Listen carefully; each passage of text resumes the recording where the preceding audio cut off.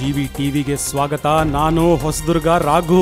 ಈ ಕಾರ್ಯಕ್ರಮದ ಪ್ರಾಯೋಜಕರು Sadguru aloe vera shampoo plus conditioner. ಇದು ನಿಮ್ಮ ಕೂದಲನ್ನು ಮೃದು ಮತ್ತು ಹೊಳೆಯುವಂತೆ ಮಾಡುತ್ತದೆ. ಶ್ರೀ ಸಾಯಿ ಮಕ್ಕಳ ಪ್ರಪಂಚ. Shri Sai kids world Karnataka bank ಕೆಳಭಾಗ ಪ್ರಮುಖ ರಸ್ತೆ ಹೊಸದುರ್ಗ. ಮಹಿಳಾ ಸಬಲೀಕರಣದ ಪ್ರತೀಕ ಹೊಸದುರ್ಗ ತಾಲೂಕು ವೀರಶಿವ ಮಹಿಳಾ ಸಹಕಾರ ಸಂಘ. ಹೊಸದುರ್ಗ ನಗರದ ಹಳೆ ಎಸ್ಬಿಐ ಬ್ಯಾಂಕ್ ಕಟ್ಟಡದಲ್ಲಿರುವ ಶ್ರೇಯ ಆರ್ಥೋಕೇರ್. ಸಂಪರ್ಕಿಸಿ ಡಾಕ್ಟರ್ ಸಂಜಯ್.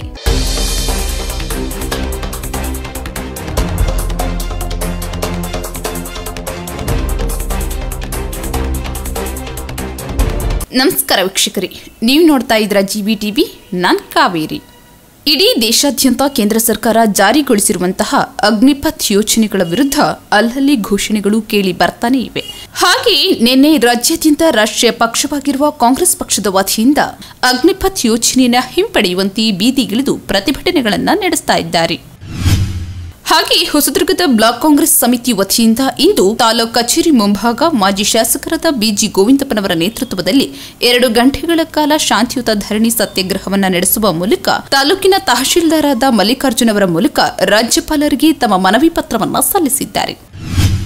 ಯುವಕರ ಮನಸ್ಸನ್ನೆಲ್ಲ ಸೆಳೆದು ಕೇಸರಿ ಶಾಲನ್ನು ಹಾಕಿ ಕೇಸರಿ ಪಡೆ ಮಾಡಿ ಅವರಿಂದ ಬೇಗನೆ ನಾಲ್ಕು ವರ್ಷದಲ್ಲೇ ಬೇಗನೆ ಅವರಿಂದ ಅವರ ವೃತ್ತಿಯಿಂದ ಪಕ್ಷಕ್ಕೆ ಏನಾದರೂ ಸೇವೆ ಮಾಡಿಸಬೇಕು ಅನ್ನೋ ಮೂಲ ಉದ್ದೇಶಗಳು ಬಿಟ್ಟರೆ ಇದು ದೇಶ ಸೇವೆ ಏನು ಇಲ್ಲ ಇದರಲ್ಲಿ.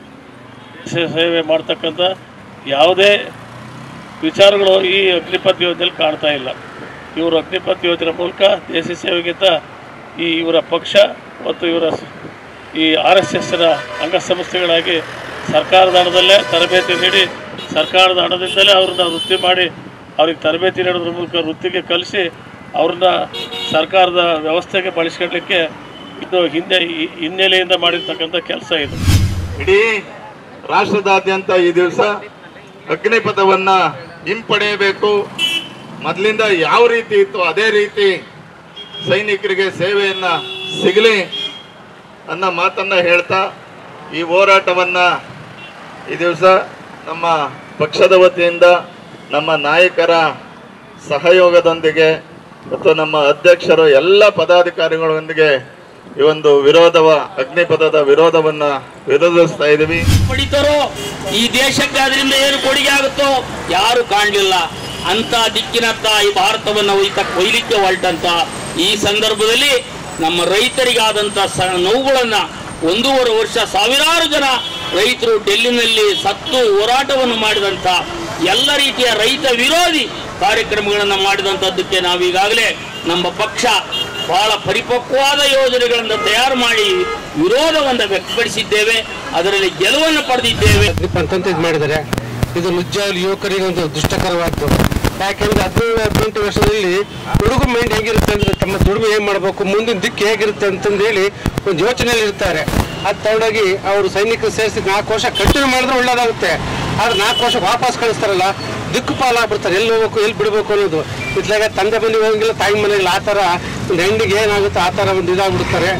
ಇದನ್ನ ಈ ಯೋಜನೆ ಸರಿ ಇಲ್ಲ ಅಂತ.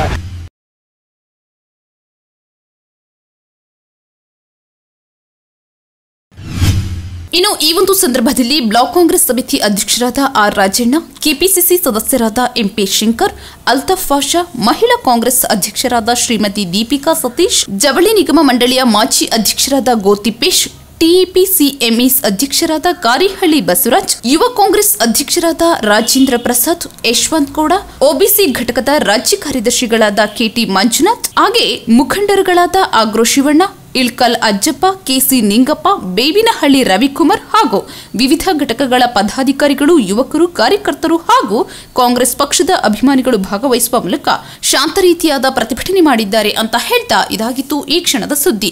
ಹೀಗೆ ಮತ್ತಷ್ಟು ಸುದ್ದಿಗಾಗಿ ನೋಡ್ತಾ ಇರಿ ನಿಮ್ಮ ನೆಚ್ಚಿನ ಜಿವಿ ಟಿವಿ. ಇದು ಪ್ರಾದೇಶಿಕ ಸುದ್ದಿ ಮತ್ತು ಮನರಂಜನಾ ವಾಹಿನಿ. ಕ್ಯಾಮರಾ ಪರ್ಸನ್ ಲೋಕೇಶ್ ಜೊತೆ Kaveri, GV TV. GV TV ನಿಮ್ಮ ಧ್ವನಿ. ಪ್ರಾದೇಶಿಕ ಸುದ್ದಿ ಮತ್ತು ಮನರಂಜನಾ ವಾಹಿನಿ. ಇದು ಕೋಟೆನಾಡಿನ ಕನ್ನಡಿ.